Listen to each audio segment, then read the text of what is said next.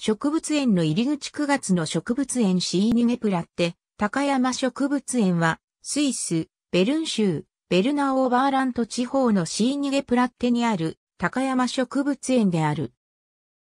シーニゲプラッテ高山植物園には、標高約1950から2000メートルの山岳地帯に約600種類の高山植物が栽培されており、散策路を歩きながら時期に応じた花を鑑賞することができる。園内の散策路は標高2067メートルの山、グミホルンガミホーンの周囲に整備され、高山植物研究の分野でも高い評価を得ている。高山植物園の総面積は8323平方メートル。年間の平均気温は摂氏1度である。ふもとの村、ビルダースビルから登山電車で標高1967メートルのシーニゲプラッテ駅まで上がると隣接した位置に高山植物園の入り口がある。開園は6月から10月中旬まで。